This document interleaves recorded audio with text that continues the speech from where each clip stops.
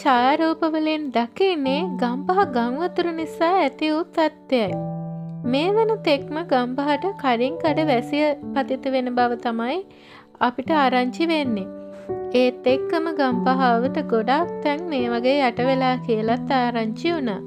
විශේෂයෙන් බියගම පැත්තත් ඒත් එක්කම ගම්පහ වතුරමල හන්දිය පැත්තත් මාකට් හරියත් මොන්ටානා උසස් අධ්‍යාපනය පැත්තත් ගොඩක් යට වෙලා කියලයි අපිට ආරංචි වුණේ.